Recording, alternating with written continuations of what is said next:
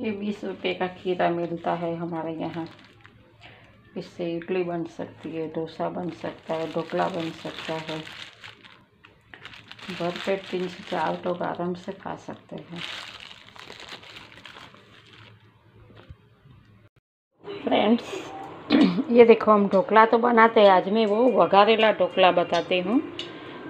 बाहर से ढोकला का खीरा लिया, उसमें मैंने नमक डाला और ये देखो बनाया। थोड़ा खाने का सोडा डाला था मैंने, बस, आलू मरचा डाला था थोड़ा। ये बन गया, अभी मैं उसको वगार मैंने रखा है। तो देखो।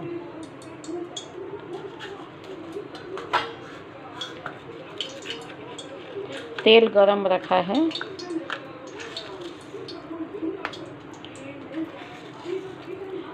राई डालना है।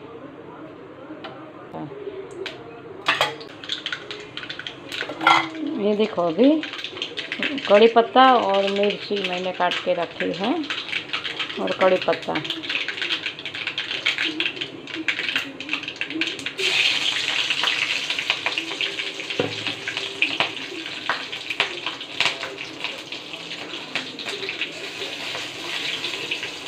फिर इसे ढोकला डालना है इसमें।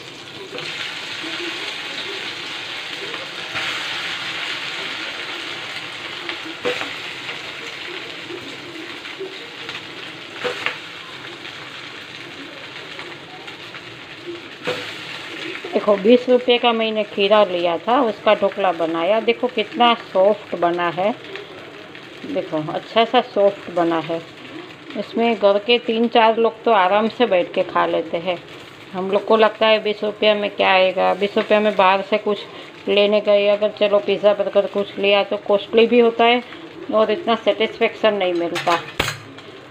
तो, तो ये थोड़ी देर स्लो गैस में होने देना है। अच्छा सा हो जाएगा। अगर आपको पसंद है तो थोड़ा उसमें शक्कर भी डाल सकते हैं। देखो। थोड़ा शक्कर अच्छा लगता है अगर डालना है तो।